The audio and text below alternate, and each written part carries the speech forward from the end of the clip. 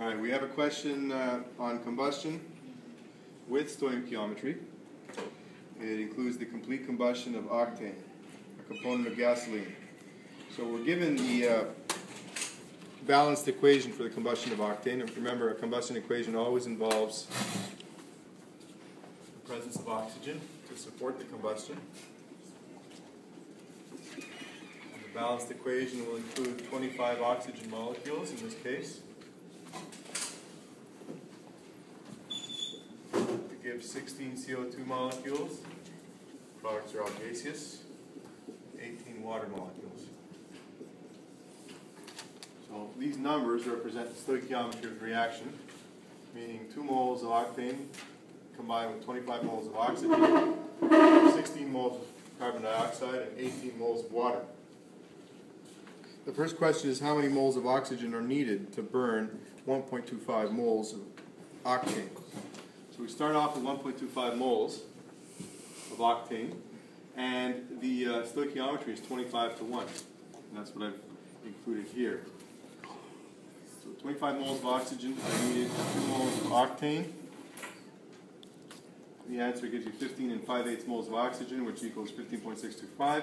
You're only now 3 sig figs in the answer, so I've rounded it off to find 15.6 moles of oxygen. In B, the question is how many grams of oxygen are needed to burn 10 grams of octane?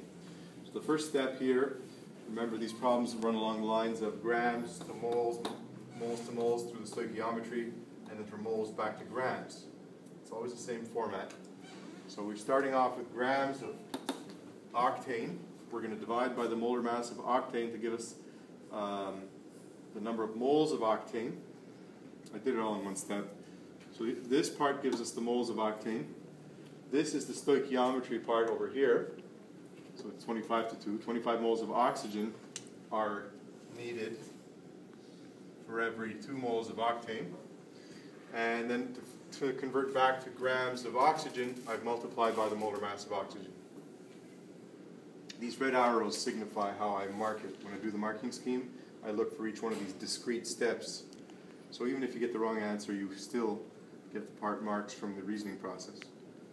Uh, the answer comes out 35.0154. I kept all the decimal places in the calculator, but when you report the final answer, it can't have more than three significant figures, so it has to round down to 35.0. In step C, this is probably the more difficult step, uh, we're told there are 4.25 liters of octane, and we're given the density of octane. To solve this part, you have to transpose some variables on the density equation. Density equals mass over volume. This letter here is rho. The Greek letter rho is used to represent density. So I've transposed the V because I know the density and I know the volume, and I'm trying to find the mass of octane. We start off with 4.25 liters of octane. The conversion factor is 1,000 mLs per liter. Incidentally, 1 ml is equal to 1 centimeter cubed and it's also sometimes referred to as a CC. You'll see it written on uh, syringes typically, CC. It's the same thing. 1 ml, 1 centimeter cube, 1 cc is the same measure of volume.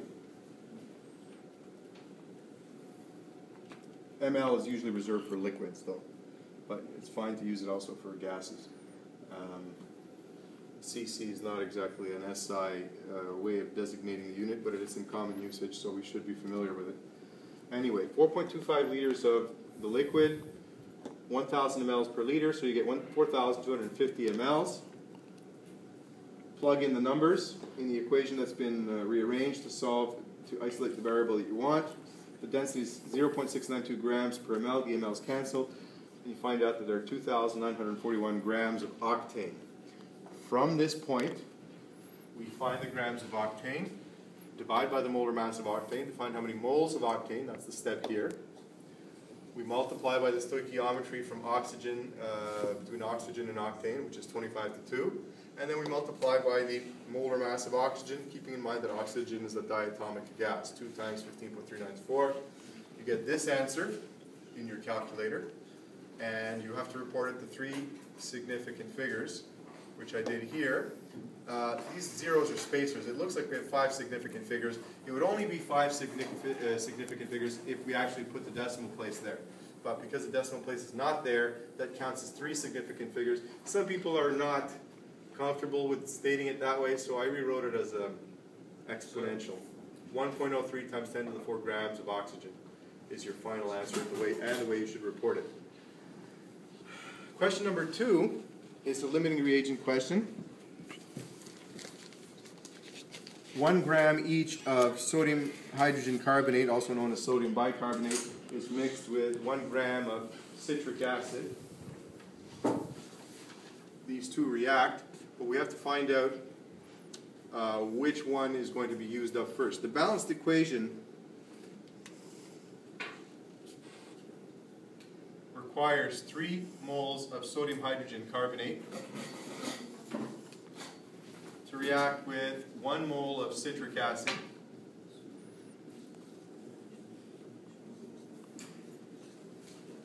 To form 3 moles of CO2 plus 3 moles of water, apologize for the crowding, and uh,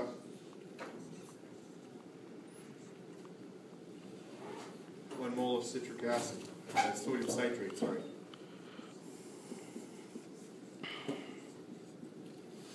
So the stoichiometry is 3 to 1 to 3 to 3 to 1. The question they ask here is, which one of these two is the limiting reagent, the sodium bicarbonate or the citric acid? So to, to discuss, to calculate that, we know that we have one gram each. We divide by the molar mass of each.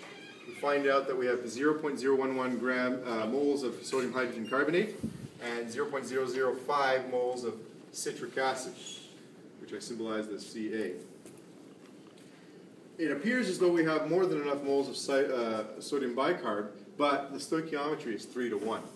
So we have to do an additional, an additional calculation to find out how much bicarbonate is necessary to react with this amount of citric acid. So the stoichiometry being 3 to 1 forces us to multiply this number by 3. So we need 0.15 moles of sodium bicarbonate. But we only have 0.019. Therefore, we realize that sodium bicarbonate is the limiting reagent. So that's what I stated here. The limiting reagent is sodium bicarbonate. In section B, we're asked how many grams of sodium bicarbonate formed. Sorry, how many, uh, how many grams of carbon dioxide formed. How do we calculate that? Well, we have to start our calculation with the limiting reagent. We have to start our calculation with this number. This is the reagent that is going to stop the reaction. So we start off with that number we factor in the stoichiometry, which is 3 to 3. 3 moles of CO2 are produced for every 3 moles of sodium bicarbonate. We multiply by the molar mass of carbon dioxide, and we get the following answer, which has to be rounded down to three significant figures. 0.5 to 4 grams of CO2 is generated. In the last step, you're asked how many grams of excess reactant. This is the excess reactant. So how much of this is left over? How do we find that out? Well, we have to do our calculation again, starting from this number, factoring in the stoichiometry, which is here. We start off with this number, factor in the stoichiometry. One mole of citric acid is used for every three moles of sodium bicarbonate, and we find out that many moles of sodium, uh, citric acid is used. How much citric acid do we have to begin with? This much. We already calculated it earlier. So this number minus that number will give us how much is left over in moles. And that's what we did here. So we have 0.012 moles of citric acid left times the molar mass of citric acid, which was already calculated here. I didn't have room to write it in, so I just squeezed it in there. Final answer is 0.238 grams of citric acid.